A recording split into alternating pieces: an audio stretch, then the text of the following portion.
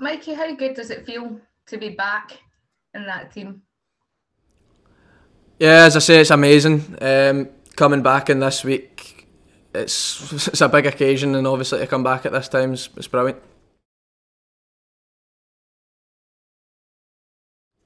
Yeah, I mean, I'm getting closer every day. Um, I'm working on my fitness. I'm trying to get back to full fitness and match fitness, and uh, I'm just needing to work hard every single day in training to get myself back to that level again. How hard was it for you watching on when the team were going through that kind of sticky spell? Yeah, it was really tough. I mean, I think this can happen to teams where uh, you can struggle at some points, but things haven't went away at times. But we're just taking each game at a time now and, and being positive every week. That is three wins in a row. Is that win on Sunday and the manner in which you won as well? Can that be a catalyst for the rest of the season?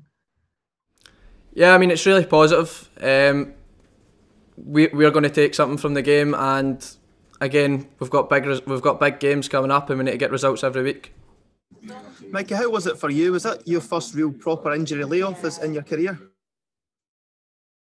Uh, I've had a couple, uh, couple spells, but um, suppose this can happen in in people's careers, and uh, I'm just wanting to bounce back for, for for being so young as well. How, did you find it during your, your rehabilitation? Was it tough? I mean, especially during lockdown as well, and, and all this coronavirus stuff around about it as well. How did you manage to cope?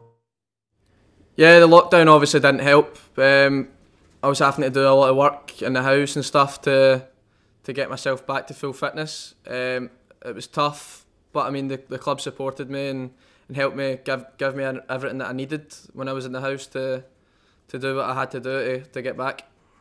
When you get an injury like that, does it make you more appreciative of the time that you can spend on the pitch, and does it, you know, sort of light the fire under your feet to go again? Definitely, definitely. Even in life, like it gives you it gives you a big boost, and it makes you a lot happier when you're back uh, and around it with the team. Mikey, do you have a sense that each game now is on a knife edge, not only for your title hopes, but you know, for the manager who always seems to be coming under pressure? Uh, nah, I think as I say, there's always pressure on on Celtic teams, and we've got to be man enough to deal with it. Um, so as I say, we're ta- we're taking each game at a time, and and every game's vital to us. Do you feel the side's capable now of going on a run of victories?